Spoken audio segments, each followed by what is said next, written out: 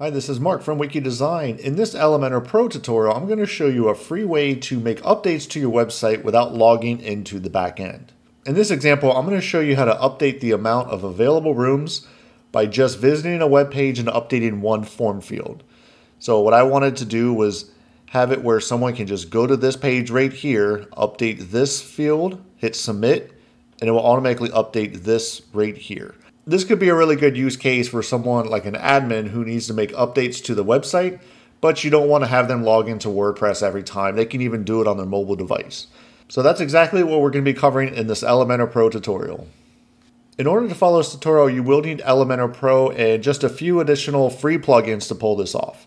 And if you don't already have Elementor Pro, I'm going to leave a link to our affiliate in the description below. So the very first plugin you're going to want to make sure you install is Advanced Custom Fields. So that's what this is right here. This is just using advanced custom fields. And then this plugin right here, this is a great plugin. This is called Front End Admin. It used to be called ACF Front End, but they recently changed the name. So that's basically the magic of how this is going to work.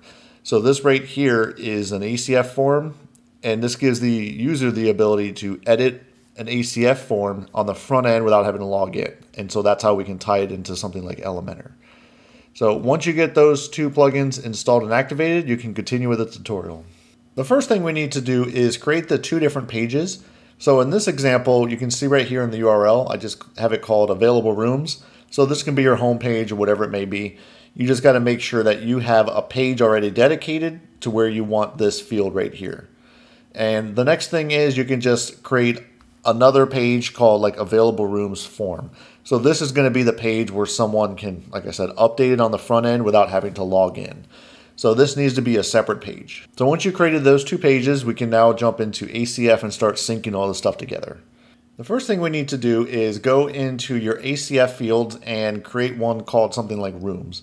So as you can see right here, I have this one called rooms, and I'm going to jump into this. And if you look right here, I just have it as label rooms, and I'm just going to have a text field, and I'm just keeping everything really simple, just called rooms right here. And then you're going to want to make sure that underneath your location rules right here, we want to select page is equal to available rooms. So that's why I wanted you to make these pages ahead of time so you can sync everything up. So I want to have it where the advanced custom field or the value is always going to be on this page right here called available rooms. So once you do that, you can keep everything else by default if you want, or if you have any additional settings, you can always update that and just hit save. So now if I jump into that page and let's go to edit page, you're gonna see this is where your advanced custom field uh, should display. So you can see right now, I just have it as rooms two. And if I update this, for example, on the back end, just to show you how everything is working, that is your ACF field. And if I go to the front end, it's to have a 5 now instead of a 2. Now I'm going to show you how easy it is to create that and just sync it up into your Elementor settings. So now I'm going to jump into the back end of that page and show you how I was able to sync that ACF field into the front end. So if I go into Edit with Elementor on that page,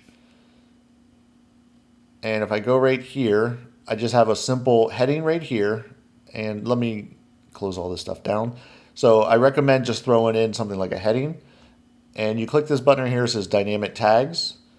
Once you click that, you can scroll down into ACF field. And then once you click that again, you just click rooms.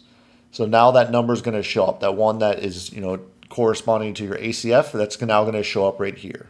So after you do that, you can go into your advanced settings right here and where it says after, you can just put a space and then something like available rooms. So once you do that, you can hit update and now on the front end, you're gonna make sure that everything's gonna be working correctly. So if I go here, hit refresh, you're gonna see it shows the five available rooms. So that's how easy it is to just sync up your ACF field into Elementor. Now let's go ahead and add that form page and show you how to sync all of that up. Now we're going to get into using the front end admin plugin. So you're going to notice that after you activate it, you're going to have this right here. And you could just go through and, you know, turn on and off some of these settings. So by default, every time someone does a submission on that form, it will save it into submissions right here. So you may want to turn that off if you don't want to have a whole bunch of you know extra stuff in your database. Um, these are just defaults. I didn't touch any of these things. dashboard, you can you know turn on and off a few things. But this right here where it says legacy, uh, you're going to want to make sure it says show Elementor widgets with legacy settings. Just make sure that's clicked on because that's going to give you the Elementor widget that we need. So now that you have that on, let's jump into the back end of that form page and show you how easy it is to set up. So if you look over on the left side in Elementor, you're going to notice a whole new tab right here called Front End Site Management. These are all the different widgets that come with that plugin. In this case, we want to just pull in this one right here where it says Edit Post Form. So when you pull that in, it's just going to look like that. So in this case, we're just going to be using this right here where it says built-in widget. Um, do not click this button right here where it says create new form because we're not going to be using uh, their own standalone form. We need to have this as a built-in widget. So what we need to do is just go underneath add item. And if you look right here, it should default to ACF fields. So what we need to do is just go to ACF fields and select the one that we have called rooms.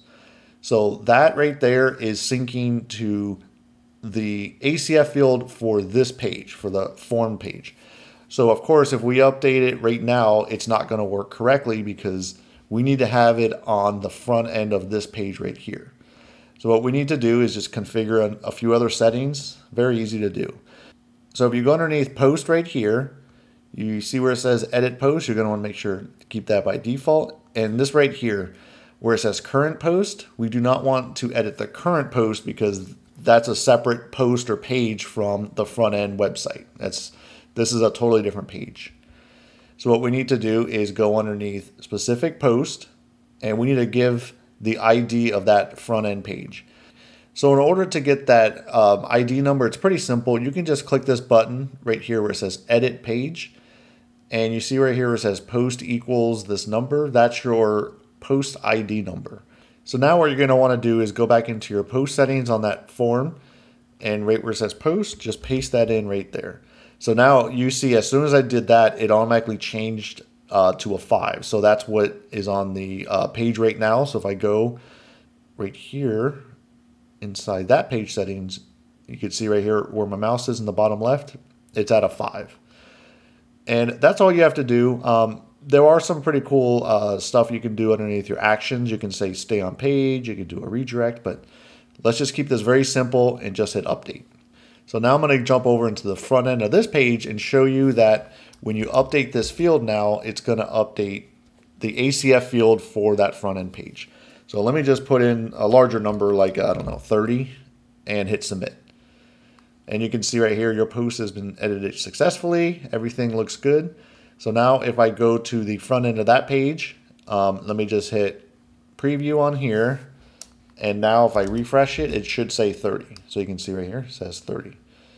And if you want to jump into the back end of that page to make sure everything works, let's try that. Let me close out all this stuff. And if I go to edit page, you're going to see that that ACF field down here where it says 30 has been updated. So now if I want to preview that form we just created, in something like an incognito window, you're going to notice that it's not going to show up at all. And that's because within the settings inside the page or Elementor settings, you need to make sure that it can display for everyone. So if you go underneath where it says permissions, you can see right here by default, it's always as only logged in users because this is really sensitive information. You don't want anybody to be able to just update it. So what we could do is make it where all users can update it, but then we could just password protect this page. So let me go into update and show you that now if you right click and you go to incognito, you can now update this, you know, when you're not logged in, but it's not protected. So let's just make sure that still works. So now that page should say four. So if I go here, it will say four.